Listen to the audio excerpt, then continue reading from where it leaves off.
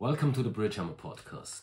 This is where we tackle the questions that others avoid and take on the topics that keep you awake at night. I'm your host, Joseph Bruckschlögl, and today we're diving into a question that sounds like science fiction, but it's becoming science fact. Are we ready for machines that can think? And I'm not talking about Siri answering your weather questions or ChatGPT helping you write an email. I mean actual conscious machines, machines that know that they exist, that can feel, and dare I say, machines that can think beyond what we can. So grab your coffee or whatever you helps you think and let's break this down. Because folks, this isn't just an academic discussion. It's real, it's happening fast, and it could reshape the world our economies, our politics, and yes, even how we see ourselves as humans.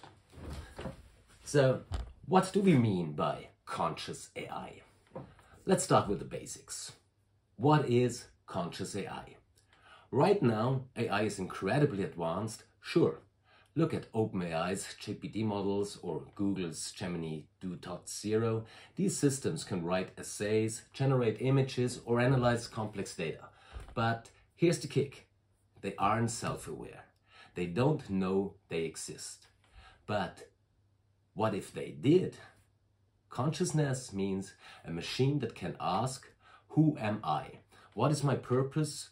And it's not as far fetched as it sounds. Theories like Sir Roger Penrose's orchestrated objective reduction, yeah, I know it's a mouthful, suggest that consciousness might actually arise from quantum processes. And guess what? Companies like Google, with their Willow quantum chip, are getting closer to replicate these processes. That chip solved a problem in five minutes that would have taken world's best supercomputers today 10 septillion years. Let me repeat that 10 septillion years. That's not an evolution, it's a revolution.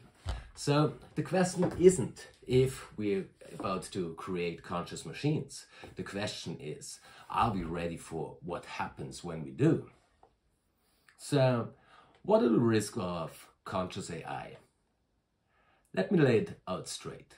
Building conscious machines isn't just an engineering challenge. It's an Pandora's box. First off, conscious AI is no longer just a tool. It becomes a decision maker. Imagine a machine with its own goals. Sure, we might program it uh, to help humanity, but what if it decides humanity is the biggest problem of all? That's not just me being dramatic. Thinkers like Stephen Hawking or Nick Bostrom have raised the alarm on this. And there's an ethical dilemma. If a machine is conscious, does it have rights? Can we ethically own or deactivate a machine that can feel. And let's not forget emotions, because if a machine is conscious, emotions might come along for the ride. And what if it feels fear, anger? What if it decides it doesn't want to be turned off? And here's the real kicker machines reflect us. If we embed human flaws like greed or aggression into an AI, it won't just copy them, it will amplify them. Imagine a super intelligent system pursuing profit at all costs or escalating conflicts because it views humans as obstacles. We have already seen the biases in current AI models, and those are just from bad training data. Now imagine a machine with the ability to evolve those biases on its own. That's not just dangerous, it's catastrophic. So, what might be economical and political implications? Let's pivot to the big picture. What does conscious AI mean for the economy and politics? Economically, conscious AI could disrupt everything. Automation hasn't already replaced millions of jobs, but conscious AI could take this to the next level. We are not just talking about repetitive tasks anymore. Imagine if an AI CEO, one that more creative, more efficient, and more ruthless than any human, entire industries could collapse overnight. But here's the thing Who controls these machines? Right now, AI development is dominated by a handful of players, companies like OpenAI, Google, and emerging competitors like DeepSeek in China. This isn't just an economic issue, it's a geopolitical one. Imagine the power imbalance if one nation, or worse, one corporation has a monopoly on conscious AI. And let's be honest, the incentives for regulation are low when the stakes are so high. Companies want to win the AI race, not slow down for ethical debates. But if we don't put guardrails into place, we're heading for a future where the gap between the haves and the have-nots isn't just economic, but it's existential. So, what should we do about it? All right, it's easy to feel overwhelmed but, by all of this, but let's just shift to the solutions. What do we actually do about conscious AI? First, we need rules.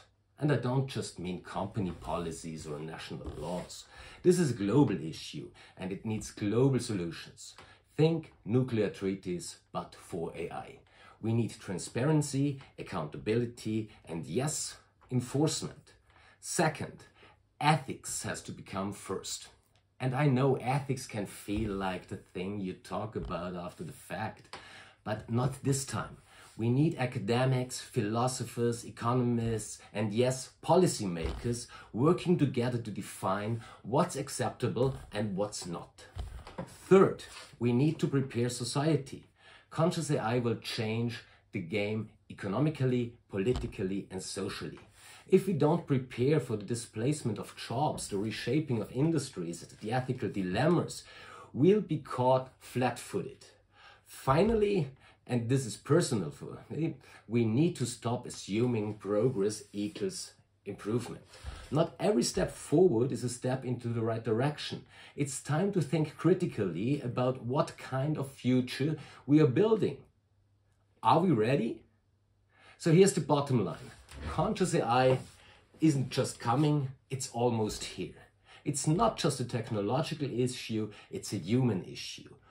How we prepare for this moment will define the future of our species. The stakes couldn't be higher. Will we create a future where conscious AI works with us to solve humanity's biggest challenges?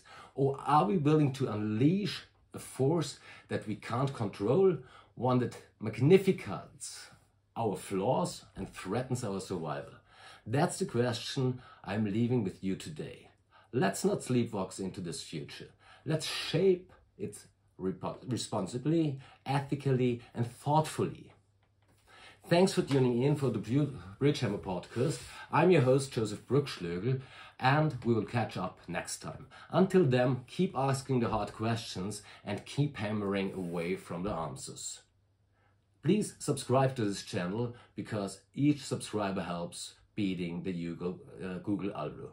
Thank you very much. See you.